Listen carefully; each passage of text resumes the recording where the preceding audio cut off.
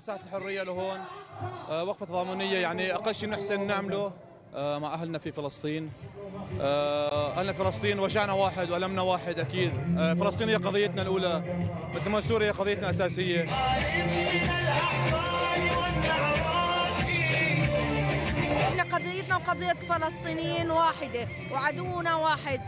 والمبدأ ما بيتجزأ وقضية السائر ما بيتجزأ. مثل ما هن سوار بأرض الأقصى نحن أيضا سوار بأرض سوريا.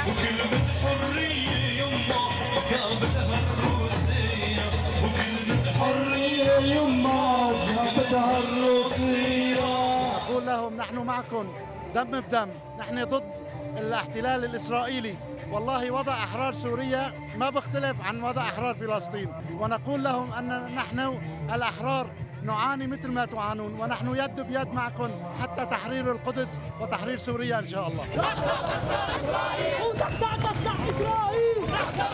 إسرائيل وشعب الأقصى نشعر بمأساتهم لأننا تهجرنا أيضا من أرضنا. فرسالتنا لهم رسالة تضامن من الشعب السوري أننا متضامنين معكم.